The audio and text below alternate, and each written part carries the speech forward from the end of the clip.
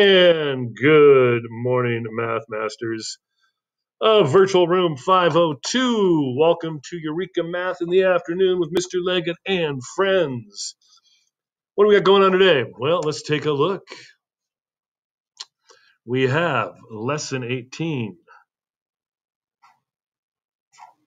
It is our Problemo set, Grade 4, Module 5. If that doesn't help you out enough, get over to page 175.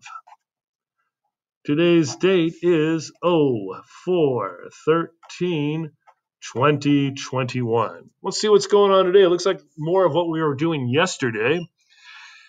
And it says show one way to solve each problem. Express sums and differences as a mixed number when possible. Use number bonds when it helps out.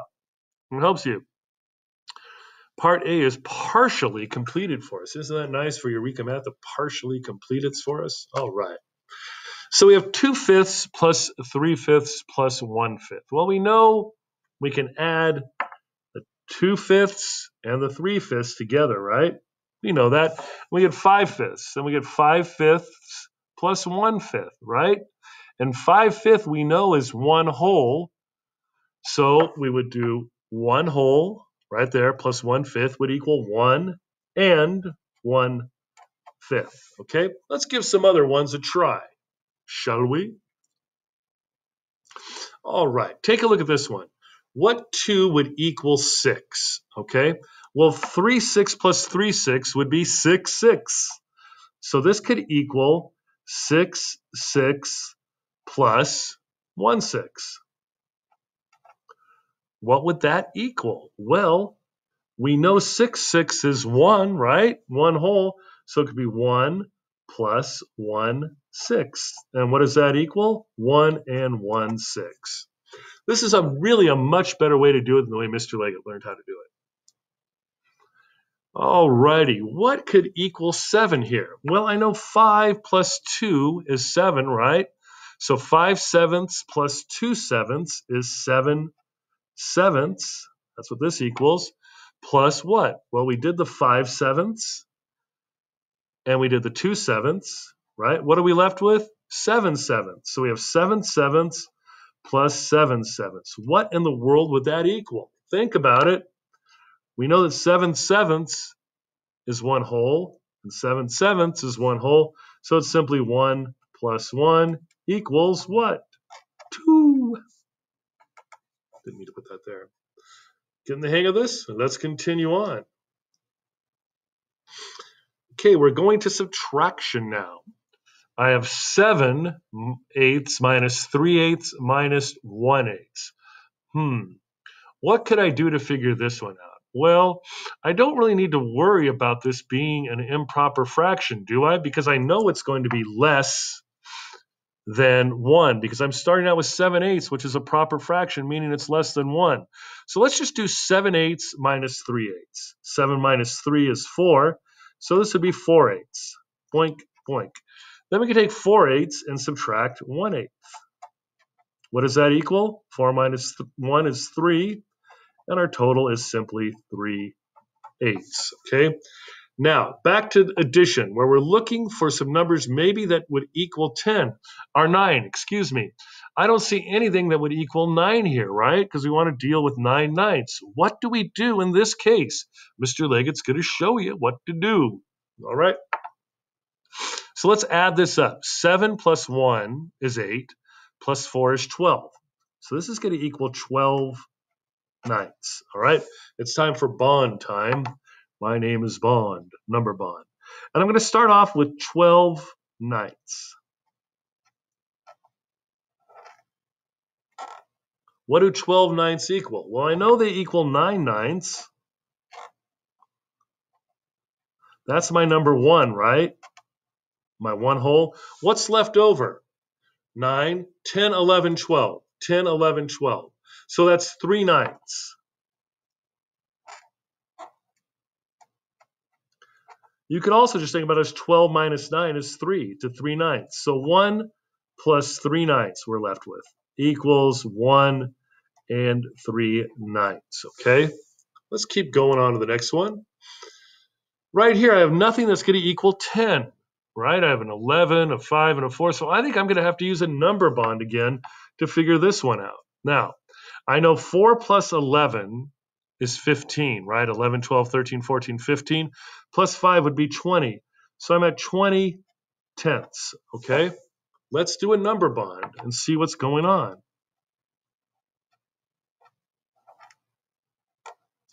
Okay, what's going to represent one whole? Well, 10 tenths. And then I'm going to put what's over here. 20 minus 10 is 10, and I'm left with 10 tenths. What's 10 tenths? 1 plus 1, right? 1 whole plus 1 whole equals 2. I'd like you to try the next three. Oh, no. Well, let's not do the next three on our own. Let's take a look at this one. Okay, how are we going to deal with this? I have 1 whole minus 3 twelfths minus 4 twelfths. I need to turn this 1 into a fraction. What fraction? 12 twelfths. Now I can subtract because 1 is equivalent to 12 twelfths, like we did yesterday. So I'm going to subtract 3 twelfths and then minus 4 twelfths.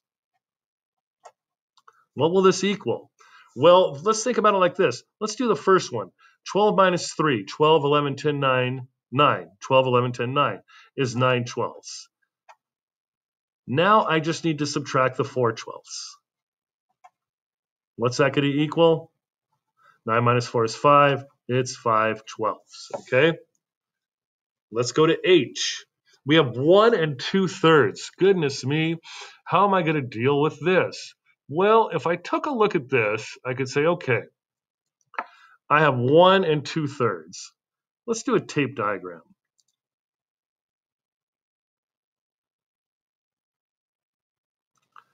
Here's my 1, and remember it's in thirds, right?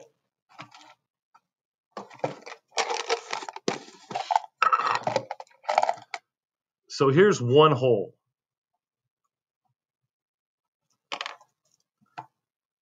And please, when we do our copycats, problem set, we are copycats. So this represents one whole. But it's not just one whole, it's one and two thirds. So I need to add two thirds onto this.